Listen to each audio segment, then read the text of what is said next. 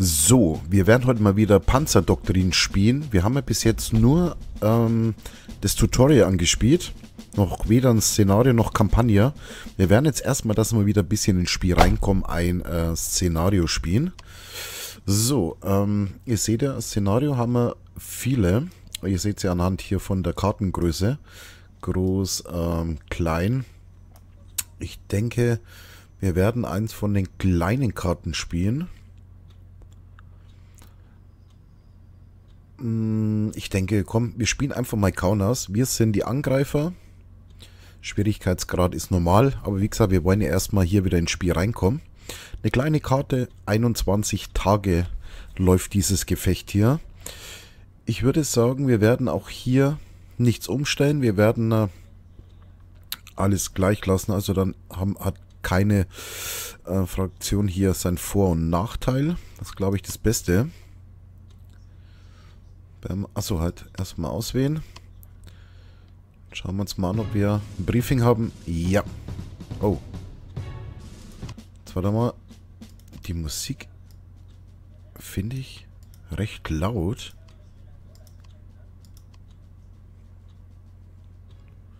Okay, jetzt müsste es besser sein. So. 22.06.1941. Also, wir sind Angreifer.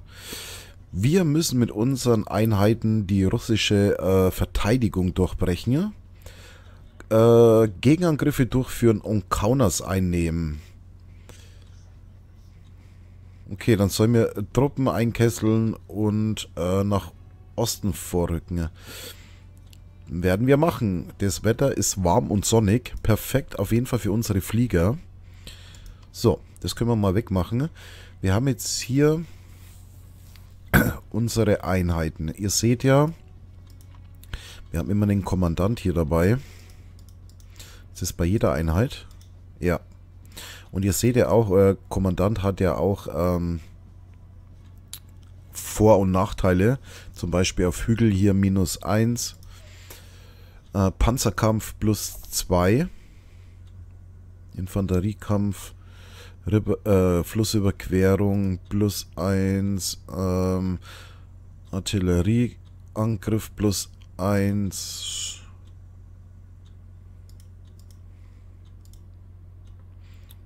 Na, hier Geschwindigkeit minus 1. Ah, wir können die sogar durchwehen. Jetzt ist natürlich die Frage...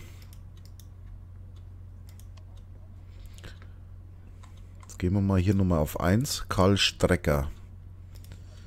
Paul Bader. Jetzt schauen wir mal, ob das unsere verfügbaren hier noch sind. Oder ob das die sind, die hier mit drin sind. In Strecker, das werden wir gleich sehen. Karl Strecker. Habe ich doch jetzt gesagt, oder? Ja, also das sind unsere verfügbaren äh, Kommandanten, die wir haben. Und da können wir ähm, durchtauschen. Ne? Jetzt wenn wir mal auf Change gehen.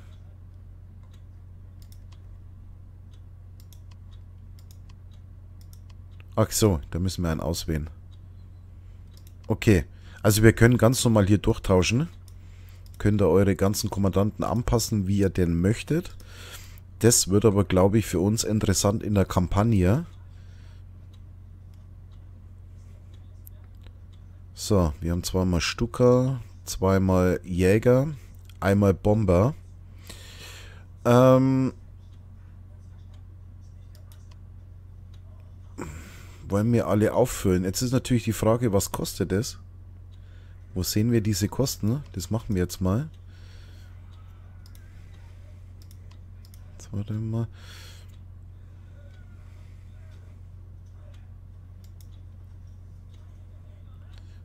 So, wir haben auf jeden Fall schon mal zwei Gruppen. Auffüllen können wir nichts. Also ich denke, die sind schon alle jetzt anhand, was wir da gedrückt haben, aufgefüllt. Ihr seht ja, da geht nichts mehr. Change Typ.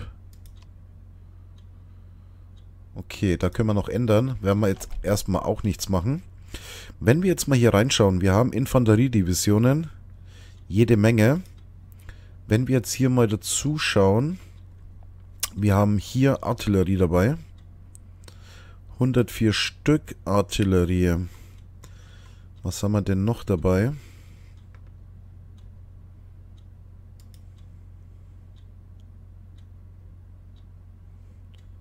Unterstützungsbataillon, Flak. Und Pax haben wir hier. Maschinengewehr. Panzerjägerbataillon. Okay. So, dann haben wir hier motorisierte Division, Panzer, Panzer. Also ich denke, motorisiert, Panzer, Panzer, Panzer, Panzer. Wir haben vier Panzerdivisionen. Ich denke, dass äh, Bomber nicht schlecht werden noch. Jetzt warte mal, wir haben Hilfs-Units äh, noch dabei. Infanterieregiment. Machine Gun. Panzerabwehr. Könnten eigentlich die Panzerabwehr hier hinzufügen. Jetzt seht ihr, jetzt ist sie nämlich hier mit drin. Machine Gun. Panzerjägerbataillon, das werden wir auch hier Infanterie dazugeben. Das eine Infanterieregiment lassen wir jetzt mal. Reinforcement. 40 Panzer.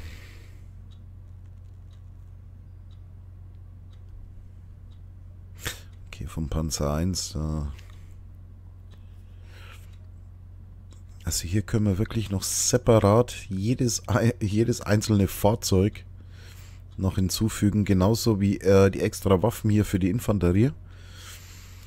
Jetzt werden wir uns mal unsere Einheiten hier anschauen, die wir kaufen können. Ähm, ich denke trotzdem, da wir nur eine Bombereinheit haben, dass wir uns noch Bomber kaufen. Würde ich eigentlich sagen. 3000 Punkte, ihr seht, 6000 haben wir. Dann werden wir das dazu kaufen. So, jetzt haben wir hier zweimal Bomber. Ähm, okay, das seht ihr selber, wir haben hier Divisionen, hier haben wir die Luftkräfte, Regimenter, Bataillone. Ihr seht ja, wenn wir jetzt, ah, jetzt können wir das gar nicht mehr anwählen. Ähm, wenn wir jetzt mal nur hier drauf gehen. Hier haben wir ein Infanterieregiment, kostet 800 Punkte. Wenn wir hier hochgehen, da haben wir eine Infanteriedivision, zweimal Infanterieregiment, dann haben wir einmal Artillerieregiment dabei und einmal Anti ein Anti-Tank-Bataillon, also Pax. Ähm, kostet 3000. Ist ja klar, hier haben wir eine ganze Division. Boah, also da will ich gar nicht wissen, was diese Panzerdivision hier kostet. Also hier könnt ihr euch wirklich nochmal entscheiden, was ihr denn dazu nehmt. Wir könnten uns jetzt hier trotzdem mal noch Panzer holen. 3000 haben wir unsere Punkte ausgegeben. Das werden wir jetzt auch machen. Ähm, die fügen wir hier mal mit rein. So. Okay. Unsere Einheiten ist aufgestellt. Wir haben jetzt unsere Hilfseinheiten hinzugefügt. Haben noch Einheiten gekauft. Da werden wir nichts verändern. Wie gesagt, unsere Kommandeure lassen wir so. Punkte haben wir eh keine mehr, dass wir jetzt irgendwas ausgeben können. Da würde ich sagen, wir gehen jetzt mal hier in die Schlacht rein. Yes, wir sind fertig. So. Äh, okay, wir sollen alle Einheiten platzieren. Platzieren können wir nur dort, wo diese schwarze Umrandung ist. Für alle, die die erste Folge von mir noch nicht gesehen haben vom Tutorial. Also, wo wir hier die schwarze Umrandung haben, sind unsere Startfelder. Und alles, was hier gelb eingekesselt ist, das sind unsere Siegfelder, die wir einnehmen müssen. Ich glaube, wir hatten doch damals irgendwo... Oder sehen wir das jetzt noch gar nicht? Kann aber sein, dass wir das erst sehen, wenn wir hier im Gefecht drin sind.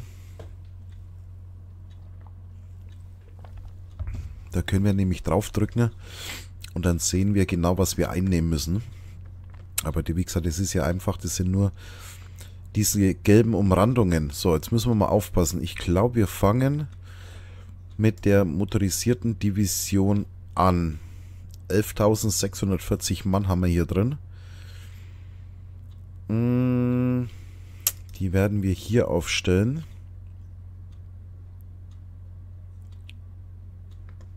Eine motorisierte Division hier und eine würde ich sagen hier drüben.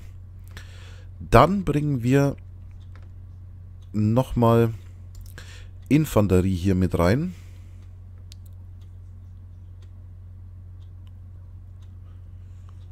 Genau, das müsste reichen. Dann Infanterie. Zweimal. Hier machen wir zwei.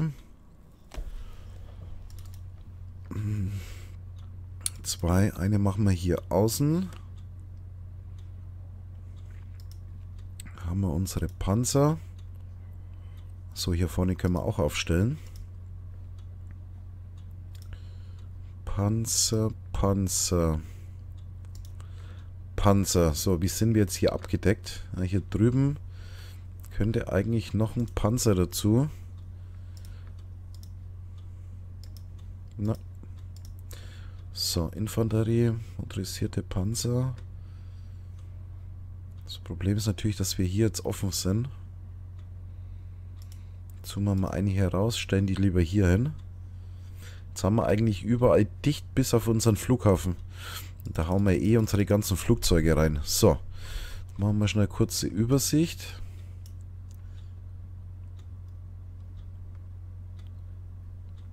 Also wir haben 1, 2, 3, 4, 5, 6, 7 Siegfelder.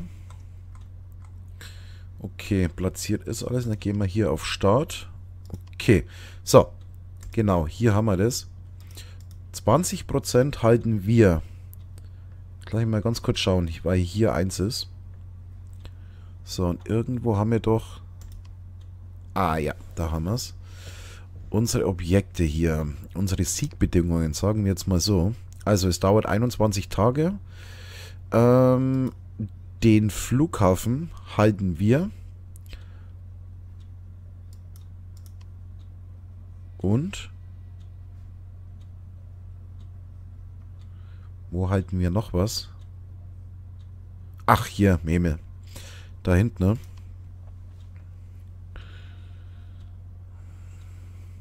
Also ihr seht, wir haben äh, 20%. Um dieses Szenario zu gewinnen, müssen wir noch 60% erobern. Also ich denke mal, wir, äh, dann bekommen wir pro äh, gehaltene, gehaltenes Objekt 10 Punkte. Also wir bräuchten auf jeden Fall noch sechs Positionen, die wir hier einnehmen müssen. Okay, wir können jetzt auf jeden Fall im Pause-Modus, gehe ich jetzt mal davon aus, unsere Befehle erteilen. So, ihr seht jetzt hier 7200 Mann, 5920. Moral ist bei 81%. Artillerie 32. Wir probieren das jetzt mal im Pause-Modus. Ja, das funktioniert. Also wir können im Pause-Modus unsere Befehle erteilen. Wenn wir dann auf Play drücken, führen die ihre Befehle nämlich aus. Dann werden wir hier vorrücken. Hm. Hier sind schon ein bisschen wenig Männer. Dann nehmen wir auch gleich beide dazu. Hier müssen wir aufpassen. Hier sind Panzer. So. Ihr greift die Infanterie hier an. Da rücken beide Infanteriedivisionen. Ne, Moment mal.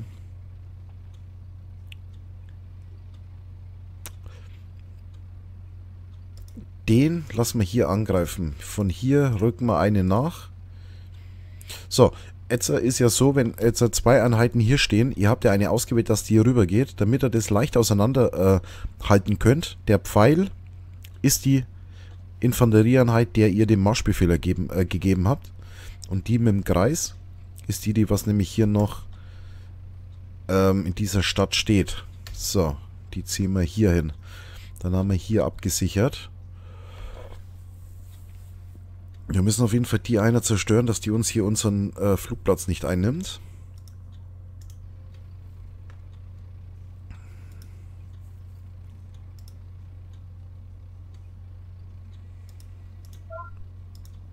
Nee, du gehst dahin. Du gehst dahin. 5000 Mann. Oder fast 6000. Dann gehst du da. Die Panzer sollen gleich durchrücken. Wenn sie hier vorbeikommen, wenn jetzt hier das Gefecht... Also, die gehen nicht vorbei, die kämpfen hier und dann rücken sie nämlich weiter. So, jetzt warte mal, wir haben jetzt hier... Oh, leck, 11.000 Mann. 8.000, die ziehen wir hier.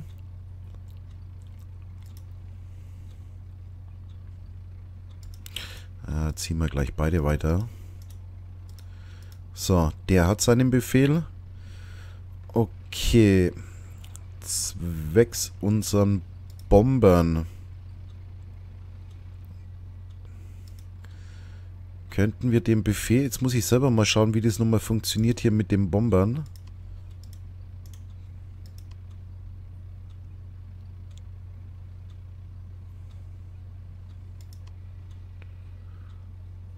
Ah, das können wir nochmal hinzufügen. Die Panzerdivision ist unser Ziel.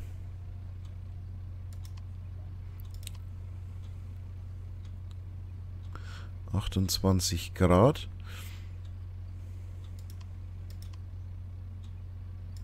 Okay, so viel werden wir nicht brauchen. Wir nehmen jetzt einmal nur Bomber und einmal ähm, Jäger. Und da könnten wir ja eigentlich diesen Flugplatz hier bombardieren. So, dann haben wir unsere Bomberziele ausgewählt und jetzt würde ich sagen, wir drücken jetzt einfach mal auf Start und schauen uns mal die ersten Kämpfe hier an. Ihr seht, das mit unseren Panzern geht sehr, sehr schnell. Das ist klar. Für eine detaillierte Kampfübersicht klickt ihr einfach hier auf dieses Kampfsymbol. Und dann seht ihr das nämlich alles noch. Oh, ihr seht, der Gegner, wie viel Mann er hier verliert. Bei uns geht's. So. Gegner zieht sich hier überall zurück. Ah, leck. Der Panzer rückt weiter. So, jetzt lasse ich mal ganz kurz schauen, wie es hier ausschaut. Ja, ihr seht, der Gegner hat eh nicht so viele Einheiten hier drüben. Okay, das ist natürlich ärgerlich. Das nervt ein bisschen hier, dass hier jetzt mal dieser Victory Report hier erscheint sobald ihr äh, eine Provinz eingenommen oder besser gesagt auch die Schlacht gewonnen habt, erscheint das hier oben. Müsst ihr nicht wegdrücken, ich drücke es jetzt einfach mal weg. So, jetzt machen wir mal Pause. Also, das mit unseren Bombern war jetzt eigentlich sinnlos, weil der Panzer sich nämlich weggezogen hat.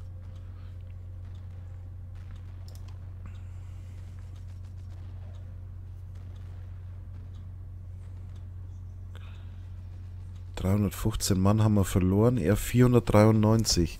Fünf Geschütze verloren, wir eins. Okay.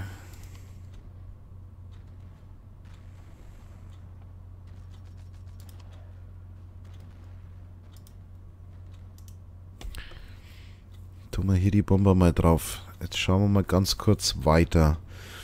Hier haben wir die Panzer und eine Infanterieeinheit, die den Rückzug angetreten hat von hier. Wie viele Panzer haben wir jetzt hier? 100. Ja, wir wissen natürlich nicht, was er jetzt hier stehen hat.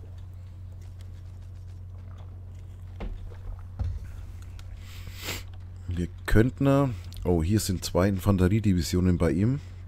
Jetzt sind die aber noch im Kampf hier. Ja, würde ich sagen, wir werden ihn unterstützen. Rücken mit denen hier den Flüchtern nach. Da haben wir den Panzer noch. Das war der meinte. Werden wir mal unseren Bomberangriff hier aufgeben und greifen... Achso, wir greifen mit den Flugplatz an. Und ich würde sagen, wir bombardieren jetzt erstmal beide Flugplätze.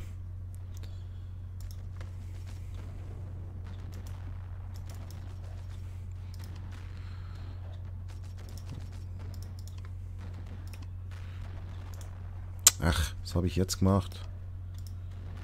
Falsche Taste. Das war der falsche. So, also hier Luftplatz, Luftplatz an, äh, bombardieren. Rücken wir den mit nach. Den rücken wir aber gleich hier durch.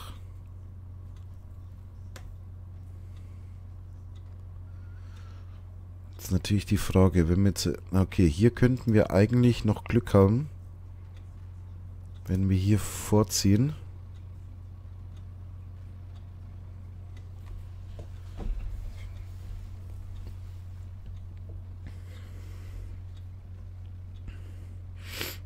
Ziehen wir hier hin.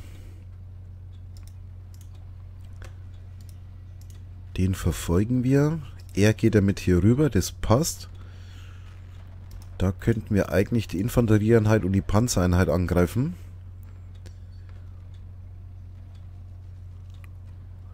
Da müssten wir mit der Infanterie hier absichern. Nicht, dass der dann weiter hier vorrückt.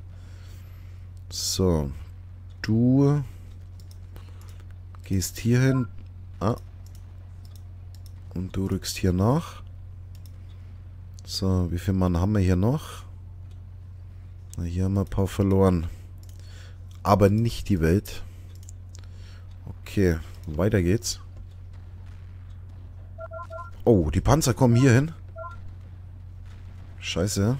Sind hier im Gefecht, aber wir haben Glück.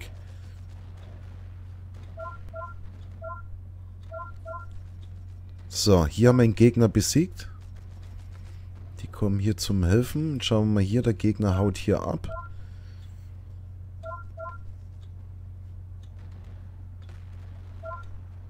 Der zieht sich zurück. Okay, der auch. Mal schauen, da können wir eigentlich gleich... Du gehst hier hin. Du gehst hier hin. So. Dann... Die motorisierte Division wird hier angreifen. Da kommt Nachschub für den Gegner. So, jetzt machen wir schnell ganz kurz Pause. Der kommt hier hin.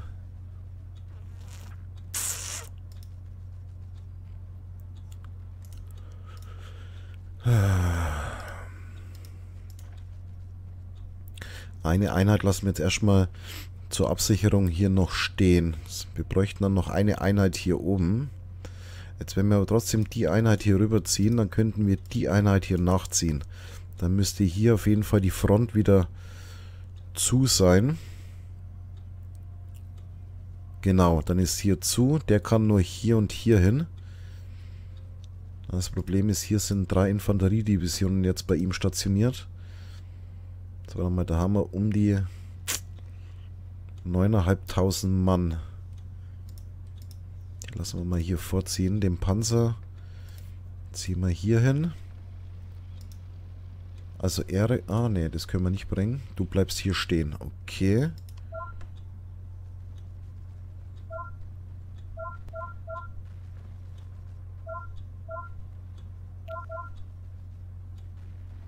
Ja, also das Gebiebse hier, das ist schon ärgerlich, finde ich. Vor allem, wir müssen jetzt da wirklich dann jedes anklicken, damit wir das schließen können. Da müsste ich mal schauen in den Optionen, ob man das ausschalten kann.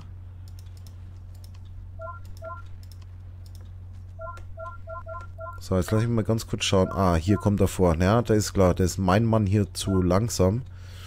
Er muss ja nur ein Feld überqueren, wir natürlich zwei, bis wir da hinkommen.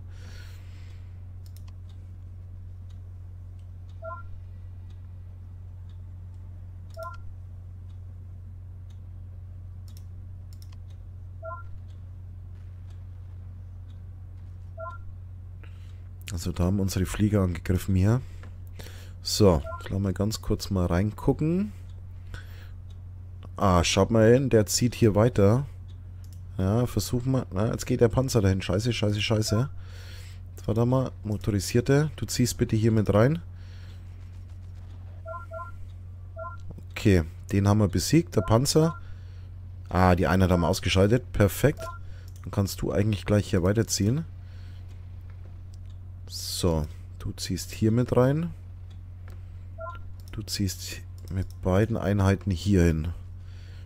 Und jetzt können wir den auch mal nachziehen.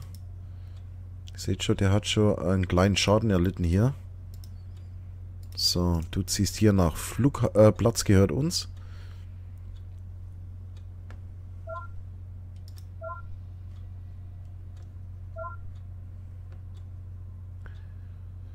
So.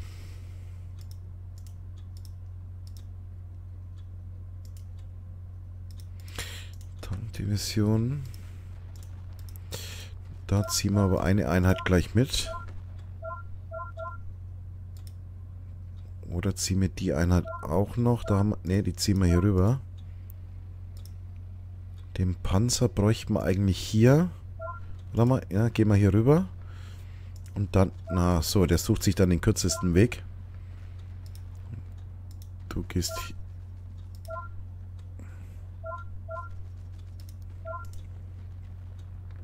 Die motorisierte Einheit hier und die Infanterie. Du gehst mit so einem Panzer. Ha, der zieht hier rüber, der Sack. Okay, das ist natürlich jetzt nicht so schlimm. Ah, ihr seht, wir haben jetzt so 40 Punkte. Wir haben ja, wie gesagt, diesen Flughafen hier eingenommen. Hm. Du da, du gehst Richtung Panzer. Schauen wir mal, ob er hier hinzieht. Nö. Du hilfst beim Panzer mit.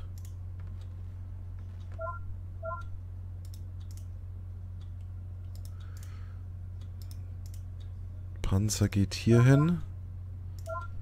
Oh, hier sind vier Einheiten, ne? Ah, der zieht hier rüber. Schaut euch das an. Ich ziehe euch hier zurück. Und er rückt nämlich gleich nach, hier der Sack. So, jetzt warte mal. Infanteriedivision. Da haben wir unseren Panzer.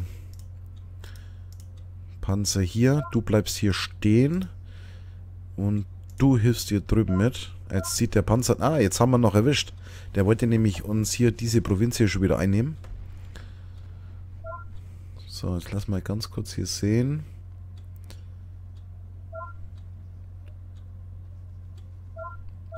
Hier kann keiner vorrücken. Dann können wir jetzt mal die Stadt hier einnehmen. Die werden wir hier zusammenbringen.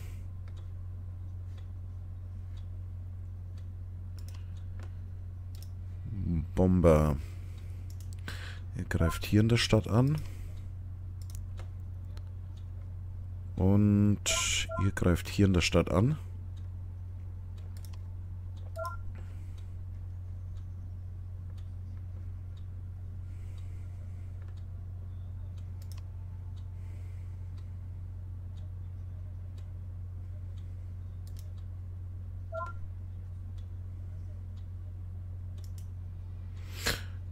So, mit dieser Unterstützung, wie können wir...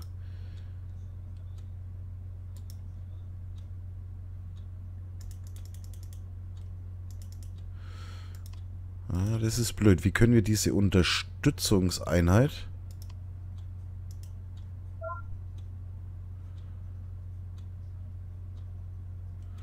Okay, die haben also immer Jäger dabei.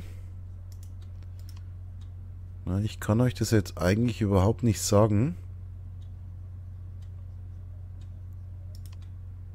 Wie wir jetzt unsere Stukas hier mit dahin schicken können. Naja, okay. Also ihr seht, wir haben noch... Oh, leck. Wir haben noch einen Tag und 17 Stunden Zeit. Ich habe jetzt viel zu viel gebabbelt. Wir müssen, warte mal, 60 Prozent. Also wir brauchen jetzt noch 20 Prozent, damit wir das hier abschließen. Ihr habt ja, da habe ich jetzt überhaupt nicht mehr drüber nachgedacht. Wir haben ja die Zeit. Wir müssen jetzt so schnell wie möglich hier diese Städte noch einnehmen. Da müssen wir uns aber jetzt beeilen. Also schnell hier durch. Genau. Und du versuchst hier reinzukommen. Jetzt müssen wir uns beeilen. Nicht, dass wir das dann vielleicht nicht mehr schaffen. Jetzt haben wir aber hier komplett offen. Infanteriedivision. Eine zieht hier hin. Eine zieht dahin. Motorisierte zieht weiter. Die eine Infanterie lassen wir hier stehen. Der Panzer versucht ja hier anzugreifen. Jetzt haben wir aber hier immer nur noch eine... Ah, no, hier haben wir mehrere. So, Motorisierte geht dahin. Infanterie bleibt hier stehen.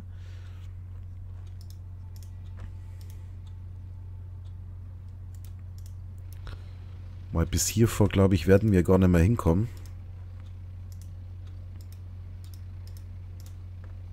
So, und das lassen wir auch hier stehen. Dann machen wir mal weiter. Bin ich mal gespannt, ob wir jetzt die eine Stadt hier noch einnehmen. Ihr seht, doch, doch, doch, doch, doch, das läuft, das läuft, schaut hin. Wir müssen nur den Kampf noch gewinnen und dann ist es perfekt. Solange der Gegner uns natürlich nichts weiter einnimmt. Oh, oh. Hier geht es ein bisschen langsam. Müssten wir aber hinbekommen. So, jetzt lasse ich mal ganz kurz hier schauen. 80 Prozent. So. Wir haben die 80 Prozent. 20 hatten wir, 60 noch, haben wir 80 Prozent.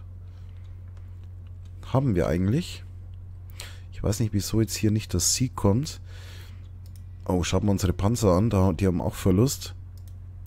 So, Infanteriedivision zieht hier hin. Die ziehen Panzerdivision, rückt hier zum Flugplatz vor. Jetzt mal schauen, nicht, dass wir dann doch hier ähm, alle Städte brauchen. Es wäre natürlich ärgerlich. Da habe ich jetzt durch mein ganzes Gerede und vergessen auf Pause zu drücken. Dass wir das noch schaffen. Wir haben jetzt noch 20 Stunden hier. So, also wie gesagt, du rückst hier hin. Panzer versucht hier vorzukommen. Äh, eine Infanteriedivision haben wir hier nur. Okay. Warte mal. Ah, fünf Stunden noch.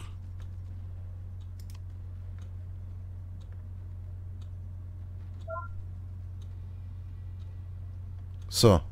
Finished. Jetzt bin ich gespannt. Wir müssten aber normalerweise gewonnen haben. Victory. Genau, da haben wir es doch. So. Oh. Fast 10.000 Soldaten verloren. Aber es geht. Nur 16 Panzer. 11 Flieger. 80 Geschütze. So, da ist unsere komplette Aufstellung. Und jetzt schaut hier mal bei, bei den Russen rein. Die haben insgesamt 63.000 Mann verloren. 393 Panzer, 200, äh, 92 Flieger und 920 Geschütze. Also, da müsst ihr so sagen, wenn die Wehrmacht früher genauso wäre, dann hätten wir ja was weiß ich, Russland in ein paar Monate komplett überrannt. Wenn ihr jetzt mal hier den Vergleich anschaut, ja okay, ihr müsst das so dazu sagen, wir haben ja dann immer mal mit zwei Divisionen hier eine angegriffen und so weiter. Wir waren eigentlich wirklich schon gut in der Überzahl. Ihr müsst aber dazu sagen, ihr habt ja gesehen, diese Map war auf easy. Wir mussten aber erstmal ein bisschen ins Spiel reinkommen, deswegen haben wir es gespielt.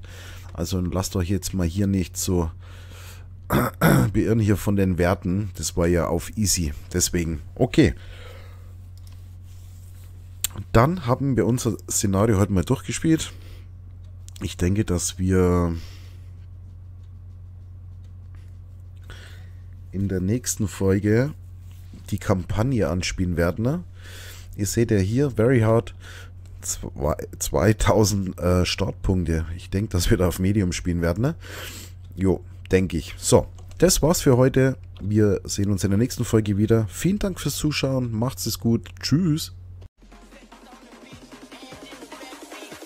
Could be us.